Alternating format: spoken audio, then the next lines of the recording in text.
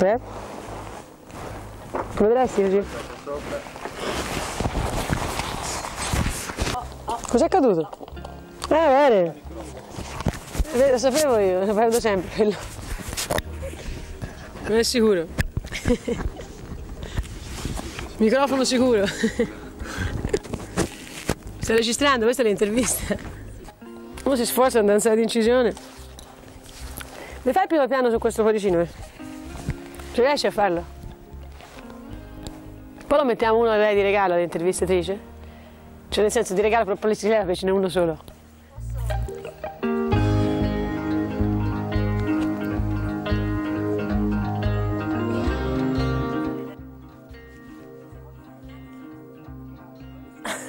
Sì, no, vedi l'abbigliamento, no? Sì, dipende dal vestito. Dipende quello che uno si mette, se uno si vestito di pelle, per esempio, umana, l'ideale. Ma io guarda, dipende dallo stato d'animo. Oggi mi sono messa così perché qua insomma è un po'. si va a rotolo in questo posto.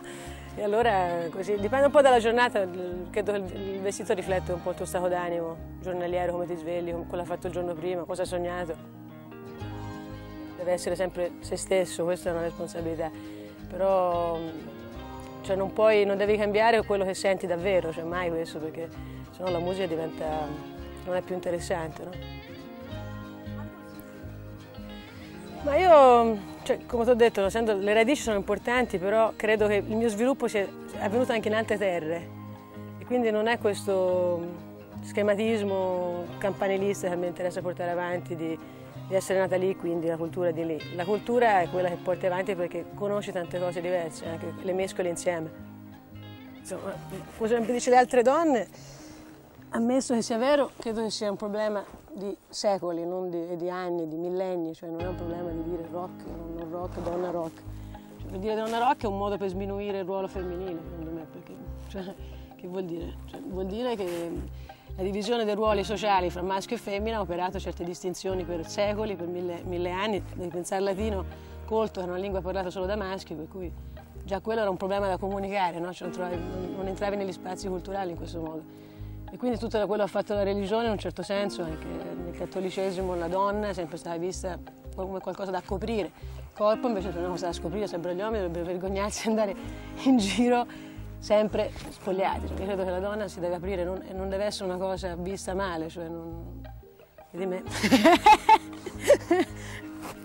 privato, sai, il privato delle volte ti può influenzare, però in realtà quando ti scrivi una canzone è un po' frutto dell'inconscio, di un'emozione che magari può risalire chissà a quale epoca. È difficile. Quando sei in sala di incisione sei un po' in uno stato alterato di coscienza dalle volte. È, è lì che vengono le cose forti, tipo Sogni Nananna mi è venuto proprio che non, non sapevo neanche io se stavo scrivendo o se lo stavo cantando direttamente. Sì, non, cioè non è tutto così, ci sono delle sfaccettature che, hanno, che prendono vita da delle esperienze che uno fa. Quindi come donna ci sono delle cose che potrebbero riflettere anche come uomo, però non è detto che l'esperienza che faccio io come donna non può vivere anche un uomo, può essere molto simile. Magari la ninna nanna è una cosa un più particolare. Credo che, che esprima molto di più la femminilità proprio perché è il ritmo del corpo della donna che dà origine alla nanna.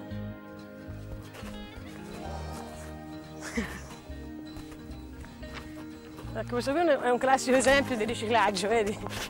Vedi le cose si riciclano nei fiumi. Questo. Bel troiaio. Dove ci va? Qui dove non c'è più l'acqua? Che sete. Ah, c'è un po' d'acqua. È sopravvissuta l'acqua.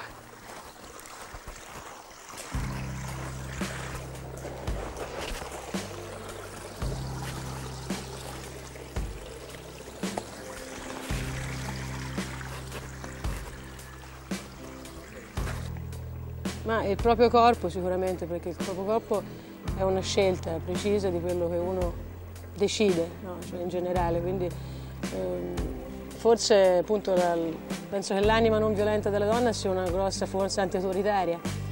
Questo è, è, sempre stata la caratteristica del femminismo libertario, quindi di, di un certo tipo di non, eh, non di parte, no? non di partito, un femminismo libero.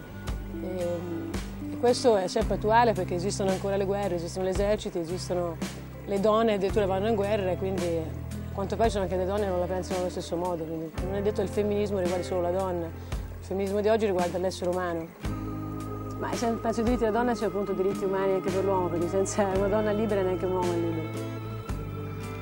Sì, sul palco cioè, dove siamo un po' tutti amici, ci deve conoscere un pochino più anche nella vita di tutti i giorni, no? credo si sente sul palco se c'è qualcuno che ti dà... Quando finisce un rapporto, per esempio, che può essere di musica, si sente, cioè la vibrazione la sente anche il pubblico. Quindi è importante sempre avere dei musicisti con cui stai bene.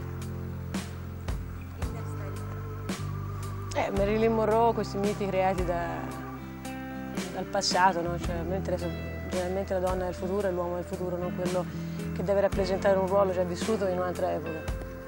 Io ho ottenuto la libertà dalla famiglia perché me la sono voluta a 18 anni, quindi è stata una scelta precisa, però a questo sentirsi completamente liberi, cioè, cioè finché gli altri non saranno liberi neanche io sarò libera.